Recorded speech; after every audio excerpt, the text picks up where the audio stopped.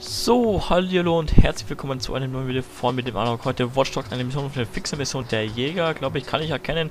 Ich mal kurz auf Vollbild.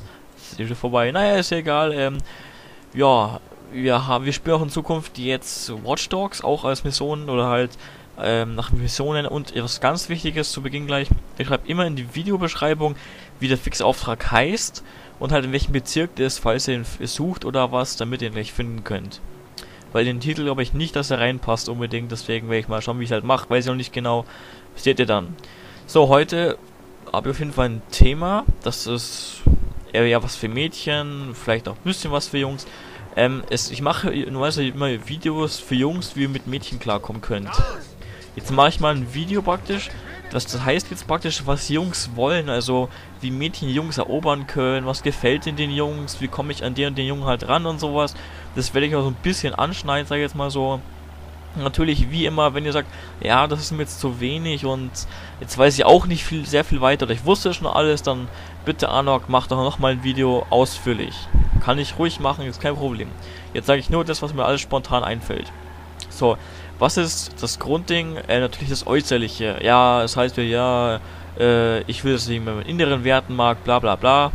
Das hörst du tatsächlich immer. Das ist so ein, eigentlich so ein Doofmann-Satz, sage ich jetzt mal. Weil es ist in der Natur so, dass der Mann einfach zuerst aufs Äußerliche schaut. Der erste Eindruck ist der wichtigste. Und dann schaut er, also er schaut kurz, ob das Äußerliche bis einigermaßen passt. Und dann schaut er auf die inneren Werte. Nicht sofort auf die inneren Werte, weil es ein Quatsch ist. Weil wenn du einen, äh, wenn ich jetzt ein Mädchen total hässlich finde, dann ist es egal, wie sie vom Charakter ist. Deswegen mag ich sie trotzdem nicht.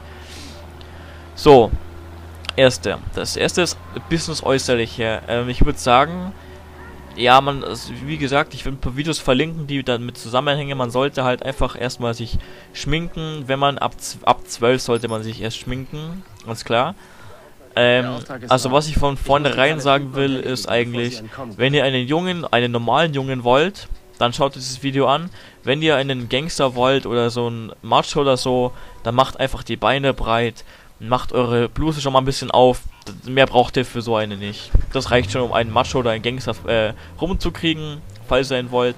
Falls ihr einen anständigen Kerl wollt, hier sage ich euch Sachen, die man einen anständigen Jungen erobern kann. Ja, nicht diese ganzen Assis, diese ganzen Gangster-Penner, diese ganzen Möchtegern-Rapper und ganzen Käse da, nee, sondern wirklich normale, gescheite Jungs, also so soziale Jungs, ja, also wirklich. So, schminkt euch ein bisschen, natürlich nicht so viel. Wie, wie viel genau ihr euch schminkt, das müsst ihr natürlich für euch herausfinden. Das weiß ich nicht. Das ist auch ein bisschen schwierig bei jedem. Es gibt sehr viele Mädchen, die ohne Schminke auch sehr gut ausschauen. Natürlich. Natürlich sieht jedes Mädchen eigentlich mit Schminke besser aus, ja. Aber grundsätzlich gibt es auch viele Mädchen, die ohne Schminke hübsch ausschauen. Ähm, und was auch wichtig ist, klatscht euch nicht so viel Parfüm drauf, dass man es bis 20 Meter Fänge auch noch riecht.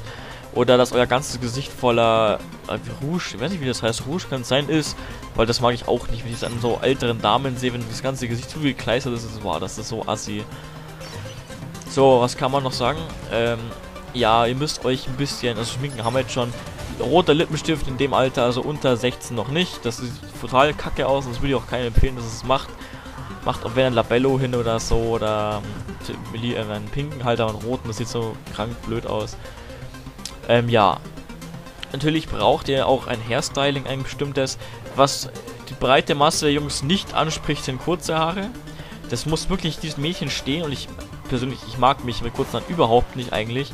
Ich mag diese langen Haare und so, wenn ich mit Mädchen kuschel, dann, was ich, sind die halt immer dran und so und dann spüre ich sie halt ein bisschen, aber so ganz kurze Haare, da denke ich immer, da liegt ein Junge neben mir. Das mag ich eigentlich gar nicht so. Natürlich gibt es auch Mädchen, denen steht das, aber nicht vielen.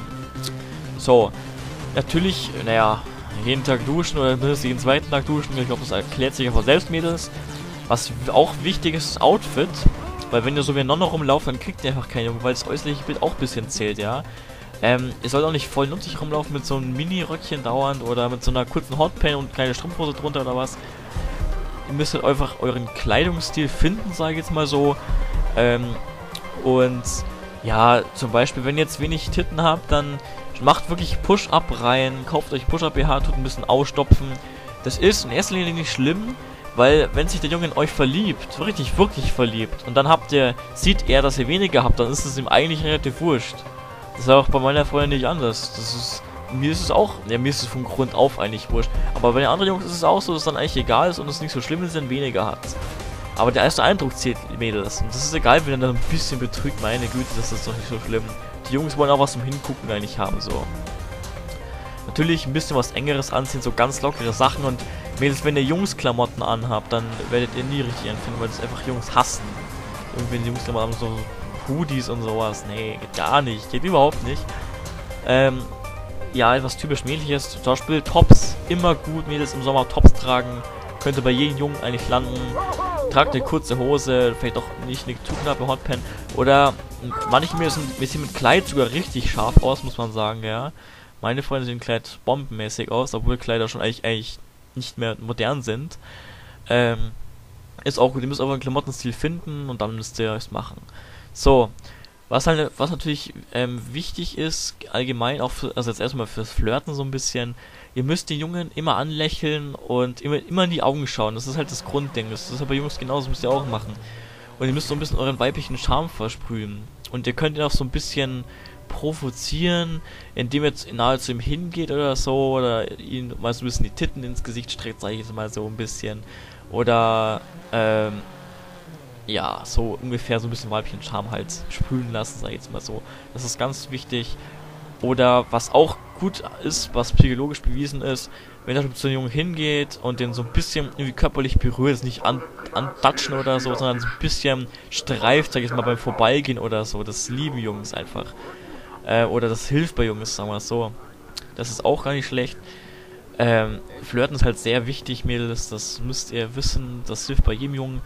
Und ich habe auch, ich bin mal schon so ein Typ, der fällt nicht mehr drauf rein, manche Mädels können so mit mir umgehen, sag ich jetzt mal so, dass ich für die ein schon noch irgendwas macht. Zum Beispiel war so ein paar Mon vor ein paar Monaten so, kommt zumindest ja, oh, willst du auf meine Schwester aufpassen? So ganz lieb und so, ein bisschen Titten ins Gesicht gestreckt, mich so ein bisschen berührt so und dann kann man ja eigentlich wenig Nein sagen und so. Das ist einfach ganz normal. Das müsst ihr irgendwie auch so machen. Und dann immer lieb sein. Ähm, es wäre natürlich auch sinnvoll, wenn ihr über das Thema, was dieser Junge oder euer Junge, den haben wollt, mögt, ein bisschen was Bescheid wisst. Also macht euch ein bisschen schlau über das Thema, über seine Hobbys, keine Ahnung. Das ist ja auch gar nicht schlecht. Ähm, was auch vielleicht fürs Anflirten ganz gut ist, schaut halt, dass der Junge nicht bei seinen Freunden ist, bei seinen Kumpels, weil die Kumpels sind immer so, die reden wie Scheiße ein oder sagen, dass ihr blöd seid oder man fühlt sich einfach anders. Ihr müsst den Jungen allein abgreifen und müsst ihn praktisch so ansprechen, wenn ihr ansprecht. So. Was die Jungs, glaube ich, auch wollen, ist, also wohlgemerkt auch ab 12, ja, also jetzt müsst ihr euch wirklich überlegen, und die normalen Jungs äh, auch wohlgemerkt, wie am Anfang gesagt, Liebesbriefe. Wenn ihr so einen Liebesbrief schreibt und Junge so ein bisschen die Hand drückt, ein bisschen schüchtern sein, ein bisschen rot wird, das ist total süß.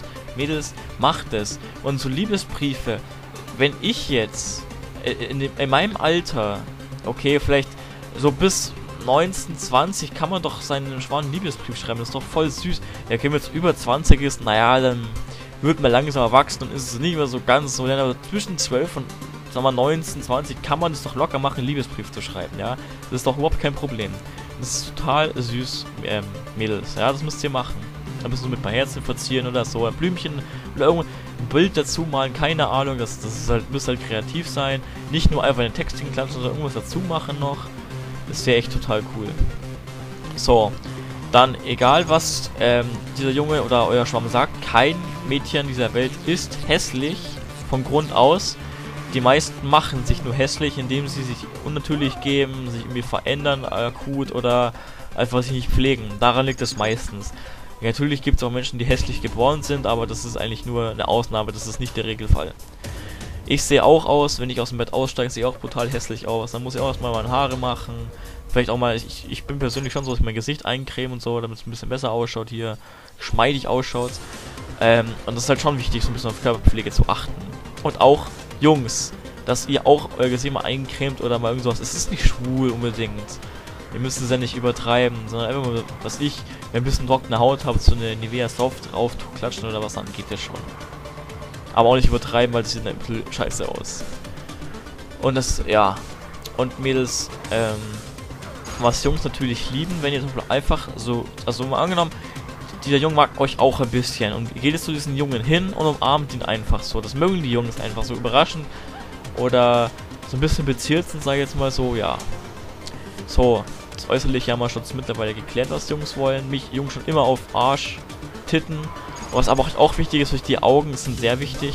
Die, wenn die zur Geltung kommen, boah, Mädels, hey, das ist... Ja, Joker ist die, die Augen, das ist einfach so. So. Was auch cool ist, wenn ihr so... Ja, das, das müsst ihr euch zeigen. Das sind so Gesichtsmimiken, wie ihr einfach einen Junge rumkriegt. Das müsst ihr auch alles üben, üben und, und kennenlernen und so, dann schafft ihr das schon. So, und jetzt auch mal ein Aufruf an alle Jungs, die das Video schauen. Schreibt mal in, in die Kommentare, also jetzt nicht bitte asoziale Kommentare irgendwie, äh, ich stehe nur auf große fette Titten oder so, sondern so allgemein Sachen, was wünscht ihr euch von einem Mädchen oder was würde euch einem Mädchen gefallen oder was, was wollt ihr denn von eurem Mädchen, dass das Mädchen, wenn das Mädchen auf euch steht und so, dass sie das Mädchen erobert praktisch. Also sie euch erobern will, was müsst ihr Mädchen dafür tun? Schreibt mir in die Kommentare, was euch einfällt, weil ich habe bestimmt nicht alles gesagt. Ich habe es, wie gesagt, nur angeschnittenes Thema jetzt. Und natürlich auch Mädels. Ähm, ihr könnt auch in die Kommentare schreiben, was denkt ihr, was bei Jungs gut ankommt. Könnt ihr auch in die Kommentare schreiben oder sammelt mal ein bisschen was, weil dann vielleicht tauscht euch auch so ein bisschen in den Kommentaren aus, keine Ahnung. Ähm, auf jeden Fall wäre es wünschenswert, wenn viele Kommentare kommen würden, weil das auch so ein allgemeines Thema ist. Und das ist jetzt auch nur, ich habe es auch ein bisschen verallgemeinert, dass man auch Jungs anspricht und sowas, ja. Das ist auch ein bisschen dazu, also was Jungs wollen. Wenn ich diesen Satz höre, da fällt mir eigentlich auch viel ein, äh, meistens. Was wollen noch Jungs? Einfach, dass sie auch, dass, dass die Mädchen nicht nur zuhören, sondern auch ein bisschen mitreden bei manchen Themen können oder so. Oder nicht nur süß daneben stehen. Ja, das wäre wär echt super. Also Leute, kommentiert mal schön, was ihr davon haltet. Oder auch, ja, was ich euch gesagt habe, was ihr kommentieren könnt. Wäre sehr wünschenswert. So, jetzt haben wir noch genau 40 Sekunden so einen Dreh. Ich weiß nicht mehr genau, mir fällt jetzt nicht mehr so, so viel ein. Ehrlich gesagt, das ist das erste, einer der ersten Videos, wo mir jetzt nicht mehr so viel einfällt. Ähm, ja, falls ihr Fragen habt, fragt mich. Ihr könnt mich alles fragen, was ihr wollt. Oder wenn ihr noch einen Videovorschlag habt über ein bestimmtes Thema, auch über Beziehungsthemen, mache ich alles. Ich weiß halt bloß nicht, wie ich das detaillieren kann. Zum Beispiel das erste Date zum Beispiel wäre jetzt mal ein Thema. Es muss halt einfach ein bisschen detailliert sein, weil ich kann nicht so allgemein für alle sagen, das ist so viel. Thema Beziehung ist so viel, Leute. Das ist einfach nicht zu überschauen. Schreibt mal detailliert, was ihr ja gerne haben wollt. So, dann like mich auf Facebook, folgt mir auf Twitter, gebt mir einen Daumen hoch, wenn es dir gefallen hat. Und ich würde sagen, das ist jetzt schon das Ende des Videos. Was haltet ihr davon? Schreibt mir Kommentare bitte schön unten in die Box. In der Videobeschreibung findet ihr auch alles, was ihr braucht. Bis zum nächsten Mal. Euer Anak und tschüss.